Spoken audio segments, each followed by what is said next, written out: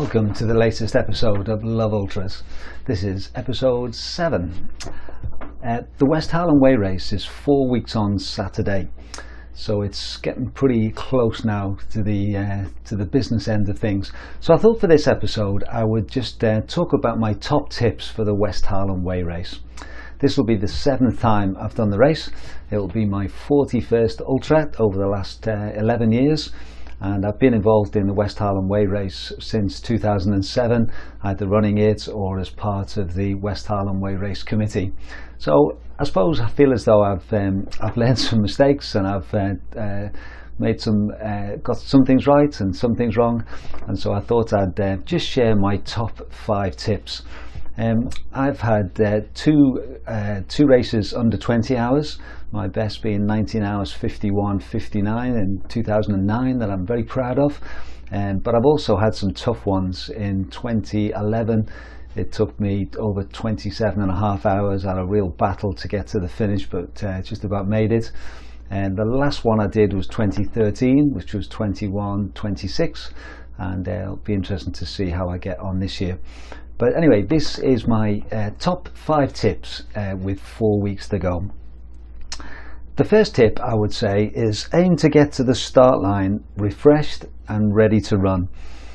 I think that's a key thing over this next four weeks. Um, you, you're not going to improve your fitness a great deal, but you can very easily damage and make it more difficult to do well in the race. Um, my plan is this weekend I want to try and do a, a recce on the Ring of Fire course that I'm in Anglesey that I'm doing in September. So I'm going down on Friday and we'll run hopefully sort of 15 20 miles on Friday, 35 on Saturday and 20 on Sunday.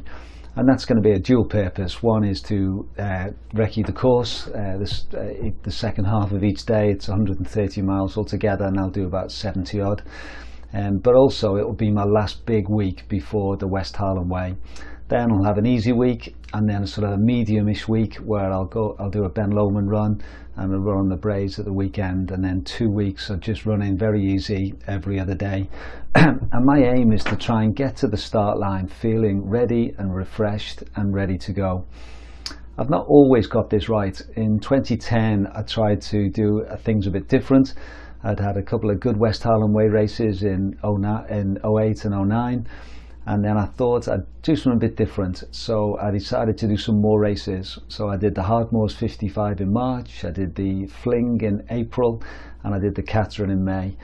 And I remember doing a, a 20 mile run about two weeks before the West Highland Way as my last long run. And I knew my legs were just so heavy. And I got to the start line and I knew I wasn't in great shape. And um, right from the word go it was hard to sort of keep up with the pace and to and to do well.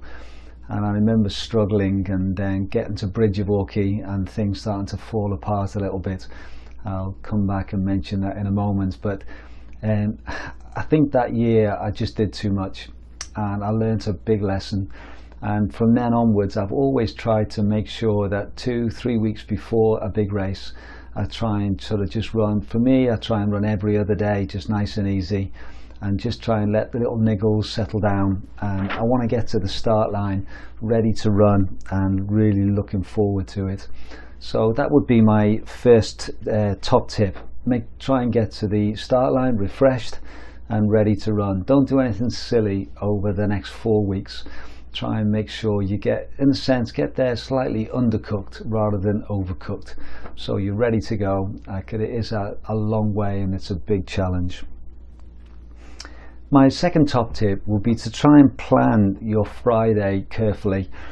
Um, again, it's I think one of the challenges of this race is that it does start at one in the morning, which is not easy. Let's face it. Uh, it means probably that you've been up uh, since uh, since the, the Friday morning, you've been up all day. Um, uh, if at all possible, try and take the day off work. Uh, I'm fortunate enough to be able to do that, so it means that I can just get my stuff ready on the Friday morning and then just make sure everything's sorted and then try and get a bit of a sleep in the afternoon and then go down to the start and hopefully uh, feel ready to, to go. I know those who have to work, it is a bit harder, um, but if at all possible, once you finish work, try and get some rest um, before, the, uh, before you have to go down to Milngavie and for the start of the race. And I think one of the things with that is making sure that you've got all your gear prepared well in advance. Uh, don't leave it till this Friday morning to spend that morning going to the shops and buying all the things that you need and sorting out your bags and everything. I think if you can get all that done early on in the week, it means then that you can just use Friday to chill out and relax and be able to get ready for the race. And also with that Friday at registration, try and make sure that you don't waste too much energy. Uh, again, my very first one in 2007, I was just so excited to be there. I was looking forward to it. I've been on training runs with different people, and I spent the hour and a half or so on my feet, talking to people, chatting about the race, being really excited about uh, about starting, and it didn't help me. Uh, and it meant that I wasted a lot of my energy even before the race started the next year I remember making sure that I registered and then I just sat down somewhere and I, I remember someone saying to me you look uh, very chilled out this time uh, and I think I, I, replied yeah I know how much it's going to hurt this time um, but I was keen just to make sure I didn't waste too much energy by standing around an hour or so before the race. You're going to be on your feet for a long time, so try and take advantage of the fact that you can sit down for a bit and not have to uh, walk around and chat to people. So that Friday uh, before the race, try and make sure you use it well, prepare beforehand, get all your gear sorted out and make sure that you don't waste too much energy when you get to registration and before the race starts. Top tip number three would be to have a plan but be flexible. Now, I've heard a lot of people say they have a plan and it's never going to be, you're never going to fulfill it. It's the first, what is it, something about the first sign of the enemy, it falls apart. Um, I can honestly say that I've had some races that have gone to plan. Uh, they've been great. I've worked, I've been, I've prepared well, I've been fit, I've uh, got my, my nutrition right, and basically I, I kept to my plan right from the start right to the finish okay? Probably had a few low points along the way but basically the plan that I had worked. And I think if I think it, it can work like that. So I think it's worth having a plan personally uh, with some idea of where you want to be at each checkpoint with an idea of your overall time and then work backwards from that I know some people love just to run by feel completely and they never even plan at all. Great, that's fine. Um, but personally, I like to have a plan, and I suppose I go over the top a little bit with all my little mini splits and uh, having it all worked out. But that suits me, and uh, I, I, quite I enjoy that. But I think it is good to have a plan, to at least have something to aim for. But I think you need to be flexible and I think you need to be willing to, if things aren't going right, to change that plan. Um, I, I, think uh, you know in your mind when you're when I'm out running, often I think about different alternatives, different be flexible. So if things aren't going so well, I've already thought about how I might change things and what I might do. Uh, and I think you need to be willing to, th to to think on your feet. So if you get to Rowardennan, if you get to Auchtertyre and things are, are falling apart, you need to think, right, what can I do to change this and to do something? I mentioned 2010 just before, and um, that was a great example for me. I'd, I'd sort of chasing 20 hours again that I'd done the previous two years, but as I said, I, I, my legs were heavy before I started and it wasn't going to happen. And, but I kept battling on and I was falling a little bit behind the time by my, my schedule for sub 20 and by the time I got to Auchtertyre it was pretty clear that I wasn't going to make that um, and then I had a terrible battle from, uh, I remember from Tyndrum to Bridge of Orchy. And there's sections there which normally I would run most of it, and I was having to walk and run, and I was just starting to really labour. And I remember the climbing up, and you climb up to that bit where the old railway station used to be, and you go over the stile and then down. And uh, I remember thinking, I'm in trouble here. This, this, you know, it was 35 miles to go from Bridge of Orchy. I'm about two miles away from there. Uh, I had plenty of time, and so I knew I could finish, but it wasn't going to be very pretty. And um, I remember as I was running along, that was the, the year England were playing in the World Cup in South Africa. and on the Friday before the race, I'd watched the game against Algeria, and England had drawn nil-nil. And Sven Goran Eriksson was the manager. And I remember halfway through the second half, he didn't change anything. He just assumed something was going to go right in the end and they were going to score. And he didn't do anything about Ever uh, Everton, England's play. Um, and I, as I sort of came into Bridge of Orchy, I thought, right, I need to do something here. I need to change something. This is not working. I'm struggling. I need to maybe change my shoes. I need to have a longer stop. I need to eat something different. I just need to do something to try and get things going. And I remember I came in, and normally I like to be in and out of checkpoints within two, three minutes, five minutes at the very maximum. Uh, I like to be in and out and I said to my support team, I need to stop for a while. I'm going to change my shoes. I said I'd love a hot chocolate, which I don't know at that stage. I don't normally take. So one of them went up to the hotel, and my friend Chris was there. It wasn't part of my support team, but Chris is very proactive with things. And he said, "Right, John, you need to have something. You need to have something to eat. Do you like olives? I've got olives. Oh no, I hate olives. I've got some ham. John, try some ham. Now I've never ever eaten ham on a on a run before." and I always like to sort of make sure I test everything out, my gear, my food. But I thought, yeah, I'll have some ham. so I took some ham, and he gave me something else as well, I think, to eat, which I, I ate, and I had this hot chocolate. Um, and I stayed there, I think, for a good 20, 25 minutes, which, as I said, is unheard of for me, really, in the West Highland way. Uh, and I changed my shoes, which, I, again, I don't normally do, um, but I tried something different and I just thought I need to. I've had my plan, but my plan was falling apart, so I needed to do something else and to be a bit more flexible. And the next, I got going again, and the next section from Bridge to Glencoe was still pretty tough. I was, I wasn't really moving that well, but from Glencoe onwards, my friend David uh, came with me, and I got going again. And uh, I actually ran from Glencoe to the end pretty well in a similar time to the previous years when I'd done my sub 20s and I finished 22 hours 15 in the end which again I was really pleased with. Um, but I had a plan but I wanted to, I needed to be flexible. So my top tip number three would be to have a plan but be flexible and that's where your support team can be really valuable as well because there's times when I think as a runner, you get so tired and you're not thinking straight about things, not making good decisions. So if you've got a support, a good support team that can make those decisions for you, if they see that you're not eating, you're not drinking, to try and get something inside you that will help you, uh, all those things will help. So have a plan, but be flexible.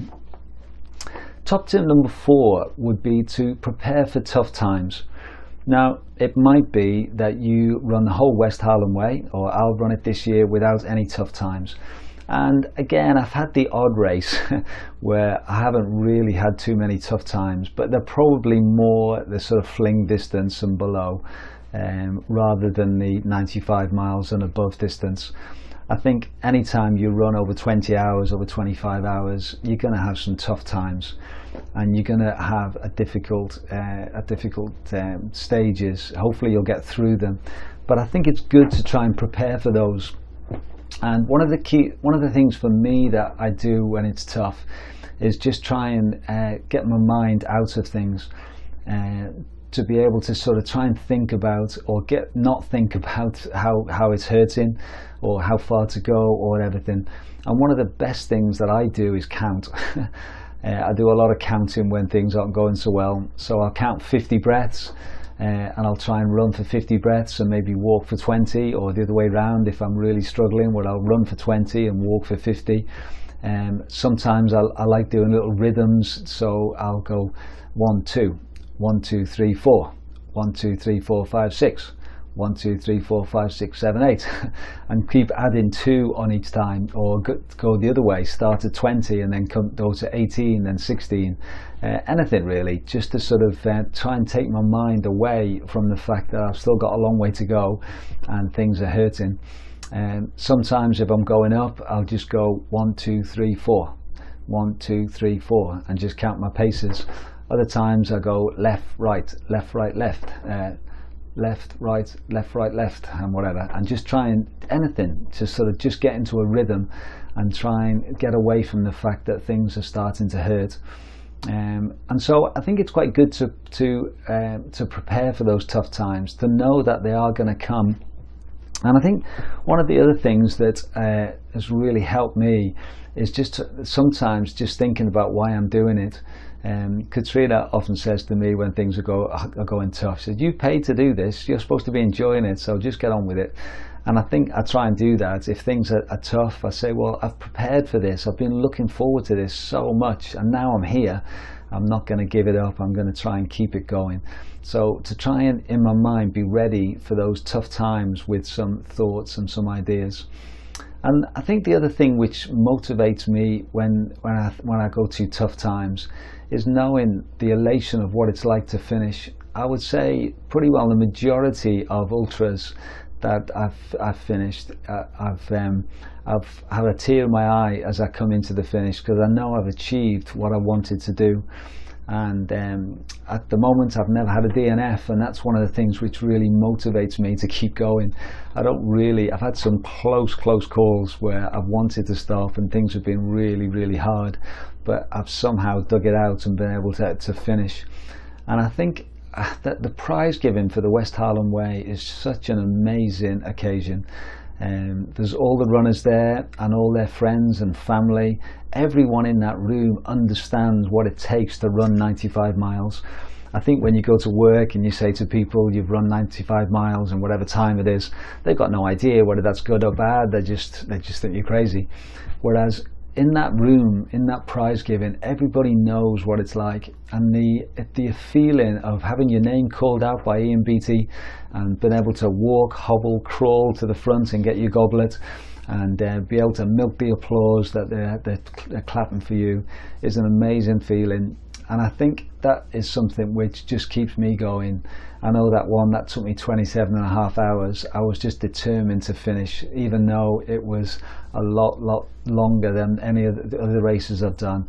Uh, the finish meant a lot to me. And sometimes people say, well, if you've got two or three goblets, it, you know, and things aren't going well, the temptation's to stop. But I can honestly say that's not been that. It's not been true for me because um, I know how much each one means, and each one means a lot to me, and uh, I don't want to sort of give up on that. So prepare for the tough times because they will come. If they don't, great, then just ride with it and and uh, keep going.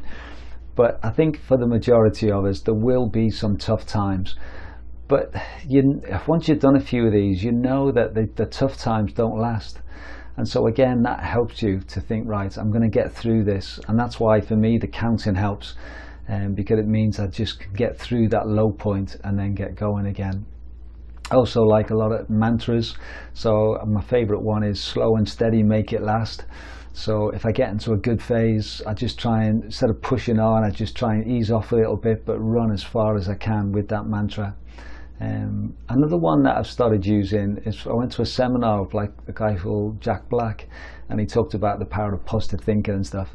But he talked about um, how that your mind, if you're thinking negative thoughts, it affects you physically.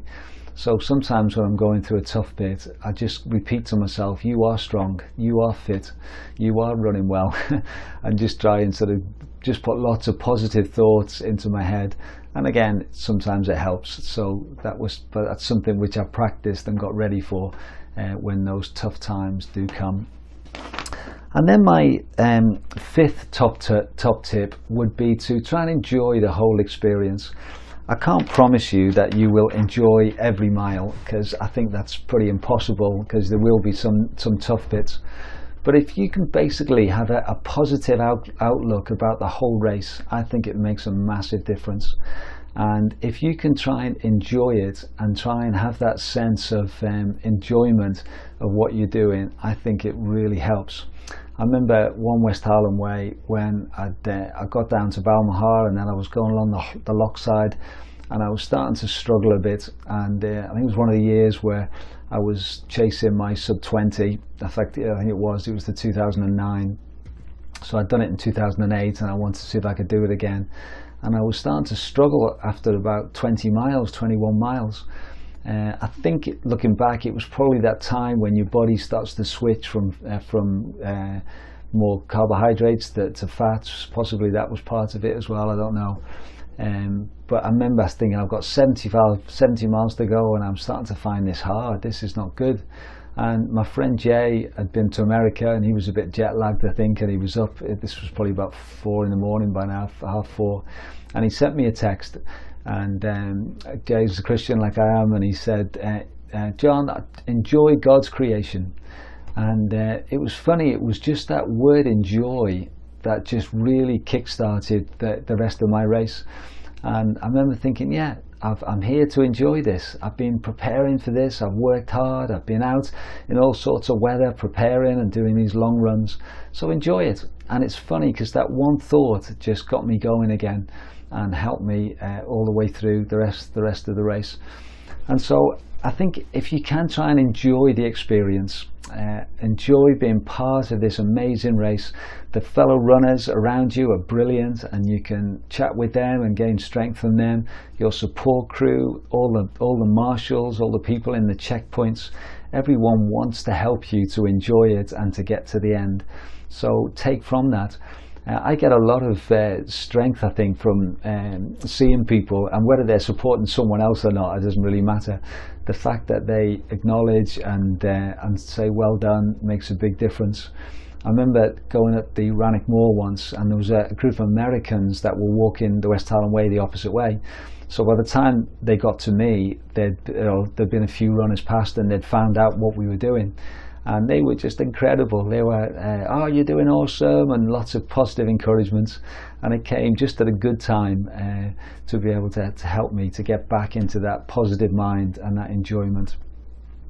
So I hope that helps. I'm sure there's lots of other tips I could give, but they're my five top tips to try and get to the start refreshed as possible. Make sure you use the Friday uh, as carefully as you can. Have a plan, but be flexible prepare for tough times and try and enjoy the whole experience. So if you're doing the race this year, I look forward to seeing you on the trail.